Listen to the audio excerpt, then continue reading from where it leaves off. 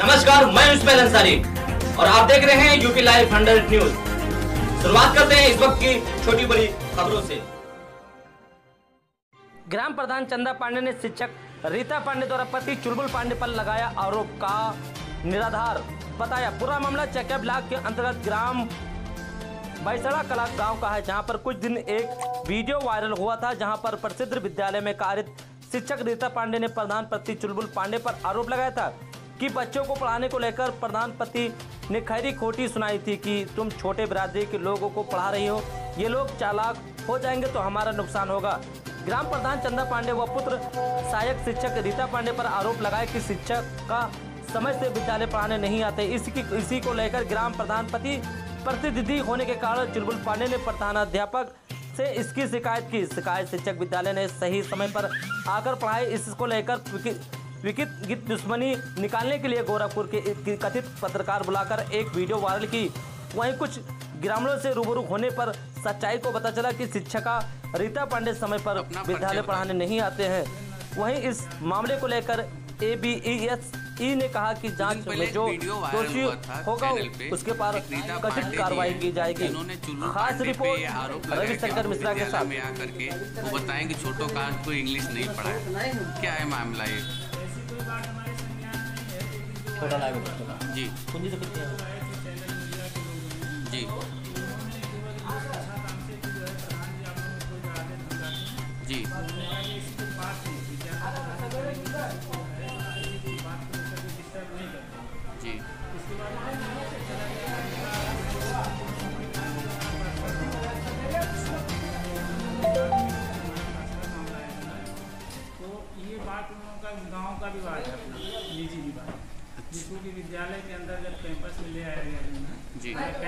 कुछ नहीं हुआ उसमें बस बात इतनी ही हुई। उसके बाद मीडिया के चैनल के लोग अच्छा कभी भी वो रीता जी आपको बताई हो कि सर मुझे ये ऐसे धमकाते चमकाते हैं कोई भी काम? ने कभी भी हमको इस ये संज्ञान में नहीं दिया है कि नहीं प्रधान ने हमको ऐसा कुछ कहा या कुछ दिखाने धमकाने की बात की ये बात हमारे संज्ञान में हाँ। पर्चा में बागेश्वरी पांडे ग्राम बियासड़ पोस्ट चकिया जिला जिला चंदौली के रहने वाले हैं हम।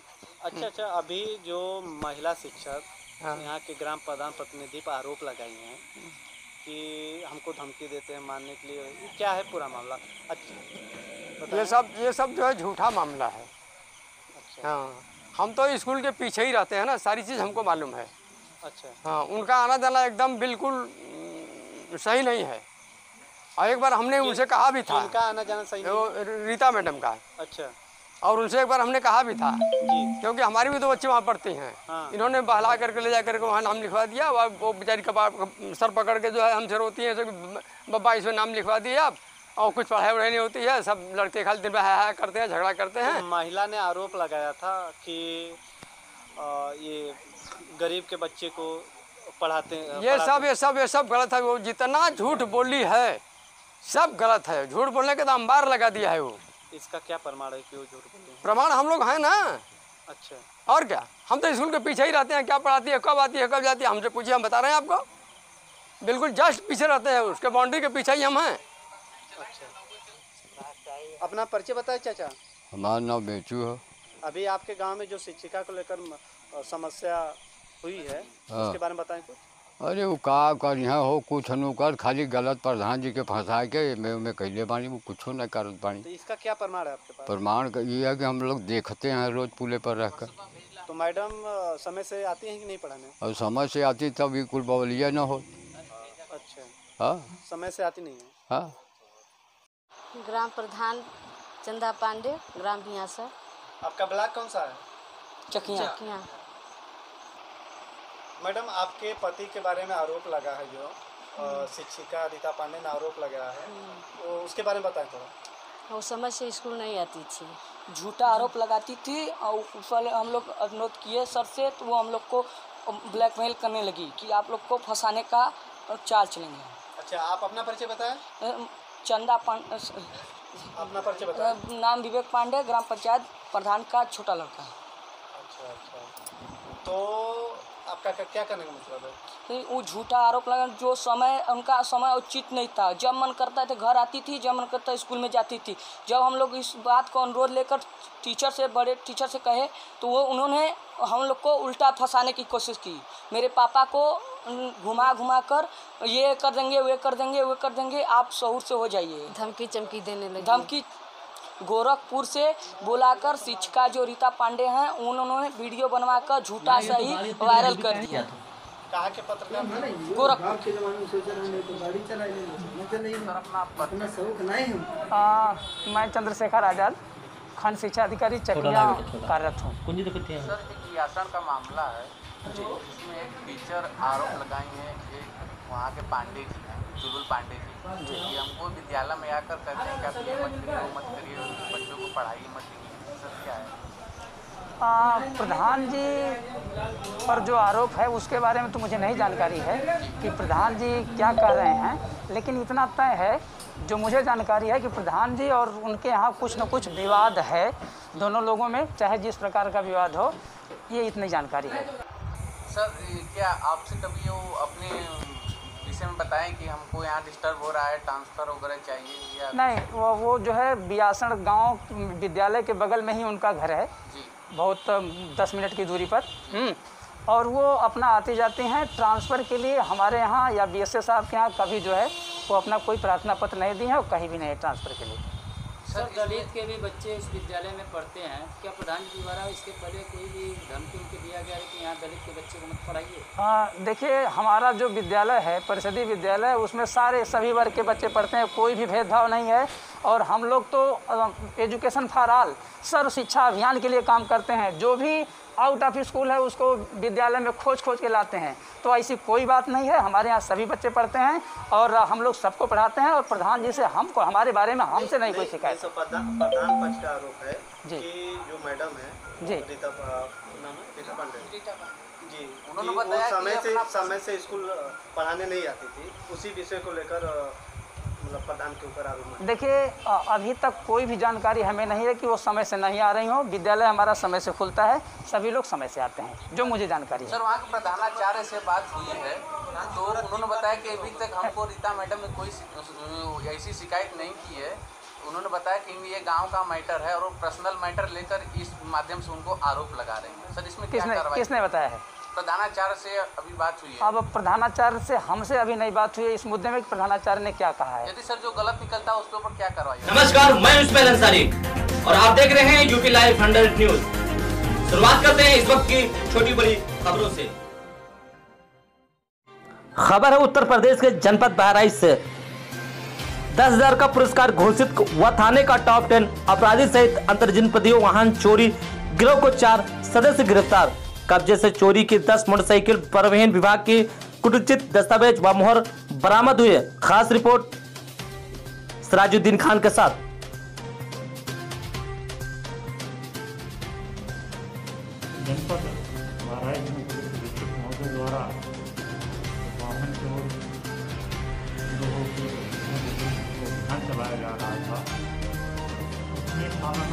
में पंजीकृत पाँच सौ उन्नीस में एक वांछित अभियुक्त इरफान उर्फ़ गुफरान के बारे में चौकी इंचार्ज कस्बा नानपारा को खबर मिली कि ये अपने अन्य साथियों के साथ कुछ चोरी की अन्य मोटरसाइकिलें हैं, उनको बेचने की फिराक में है सूचना पर प्रभारी निरीक्षक नानपारा डी के श्रीवास्तव और उनकी टीम ने जगन्नाथपुर पक्की सड़क पर इन लोगों का इंतज़ार किया।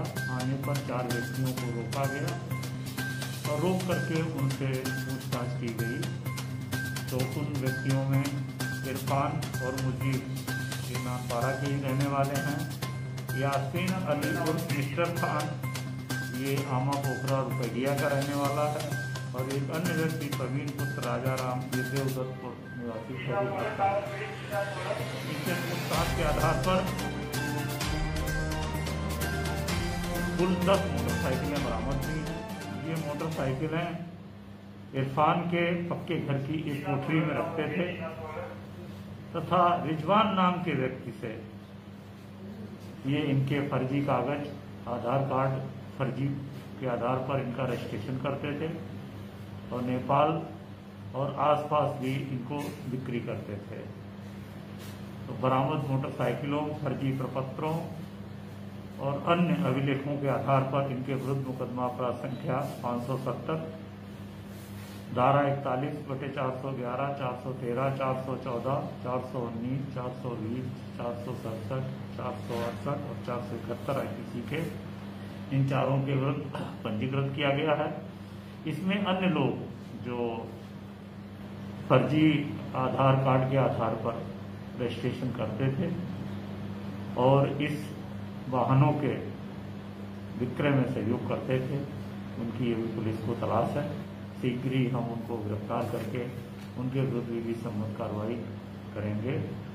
थाना नानपारा की पुलिस द्वारा एक सराहनीय कार्य किया गया है। पुलिस अधीक्षक महोदय द्वारा इसकी सराहनीय की गई नमस्कार, मैं उस्मैन अंसारी और आप देख रहे हैं यूपी लाइव हंड्रेड न्यूज़।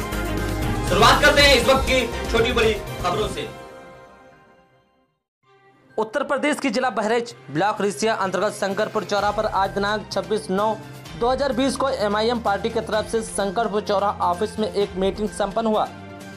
इस मीटिंग के मुख्य अतिथि जिला अध्यक्ष मिर्ज़ा समी बिग व जिला उपाध्यक्ष ब्लॉक अध्यक्ष व तमाम नेतागण मौजूद रहे। मीटिंग को 2022 के चुनाव की चर्चा के संबंध में आयोजित किया गया था, जिसमें मिर्ज़ा समी बिग ने बताया कि हम लोग गांव-गांव में एमआईएम की मीटिंग करके लोगों को जागरूक कर रहे हैं। उन्होंने बताया कि बहुत जल्द ही प्रदेश अध्यक्ष व तमाम बड़े नेतागण मीटिंग करने वाले हैं। लटर खां के साथ सराजुद्दीन खान की खास रिपोर्ट।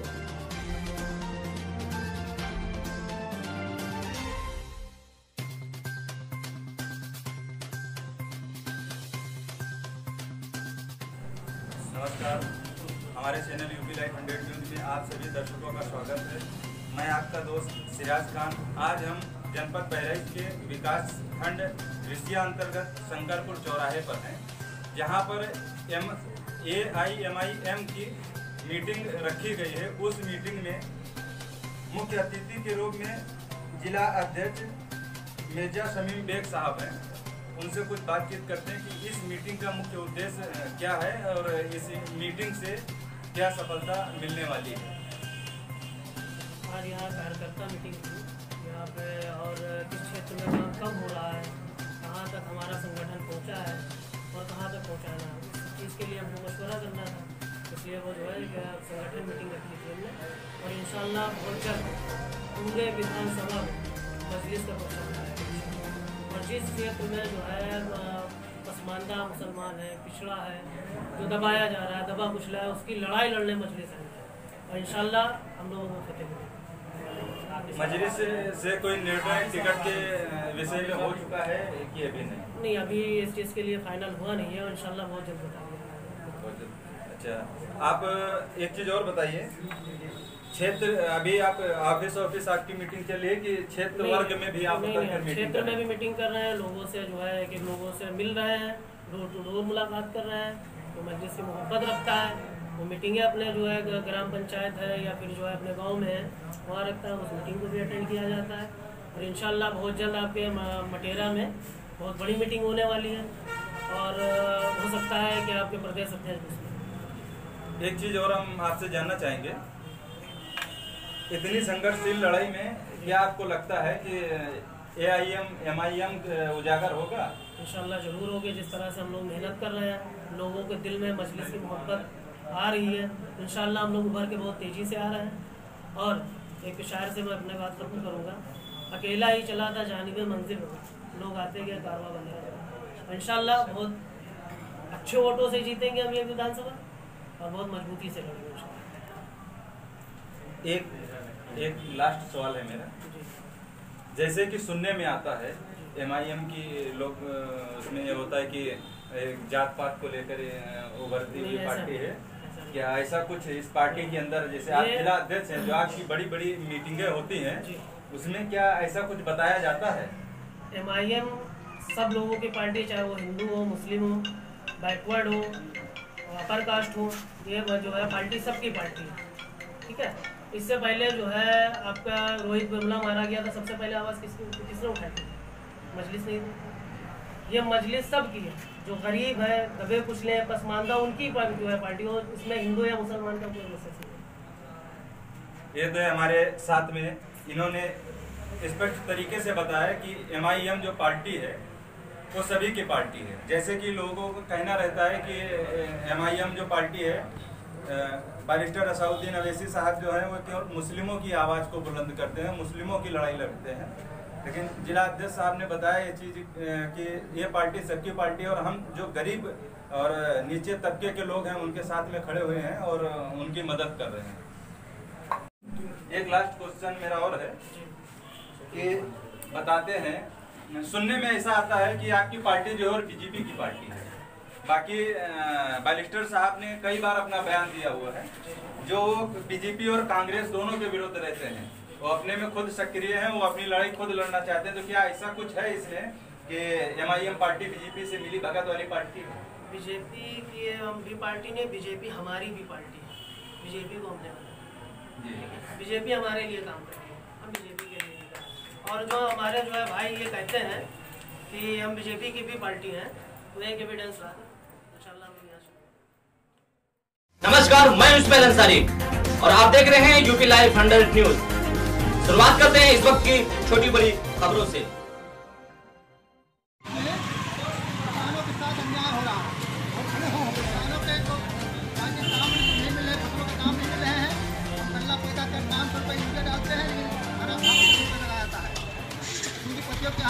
द्वारा हम लोगों को जा रहा है। किसान है, नौजवान को नहीं मिल रही है। देश में आज किसान आंदोलन हो रहा है। कांग्रेस पार्टी के लोग भी सड़क पर हैं। हर पार्टी अठारह दल के लोग सड़क पर हैं। कि किसानों के जो साथ जो राष्ट्रीय अध्यादेश लागू किया गया कानूनी है किसान विरोधी है उसको लागू किया जाए एमएसपी लागू किया जाए तमाम मांगों को लेकर। और गांधी के आंदोलन जो इस पर जहाँ पर स्वतंत्रता संग्राम सेनानियों ने यहाँ से झंडा उठाया था अंग्रेज़ों के खिलाफ यहाँ पर गंगाराम तिवारी सर्टिफिकेट करवा के हों चाहे रघुपत सिंह रामबकर सिंह अत्याबकर सिंह, शेखापुर के हों। जितने भी स्वतंत्रता सेनानी थे, यहीं से झंडा उठाते थे, यहीं से अंग्रेज़ों के खिलाफ सत्याग्रह हो गया था। आज एक गांधी कबूतर यहाँ पर। आज जो आने वाली पीढ़ी, आने वाली पीढ़ी आज भूलती रही कि गांधी और हम लोग कई बार इसका आवाज़ उठा चुके हैं। आज भी मांग करते हैं शासन प्रशासन से गांधी सुधार किया जाए। अन्याय बंद किया जाए। हमारे बीच में प्रेम सिंह यहाँ के अध्यक्ष हैं कांग्रेस के। हमारे बीच में राकेश सिंह जी हैं और आप लोग तमाम किसान छात्र नौजवान व्यापारी माताएँ बहनें हैं सभी से आह्वान करेंगे आप लोग किसान हित में नौजवान हित में देश हित में गरीबों के हित में आप लोग हो जाइए और अन्याय के खिलाफ सड़कों पर आइए आपका आह्वान कर रहे हैं। मैं आवाज़ दे रहा हूँ तुम्हें भाइयों अब सर में कफन बाँध निकलो तो फिर वही परामर्शियों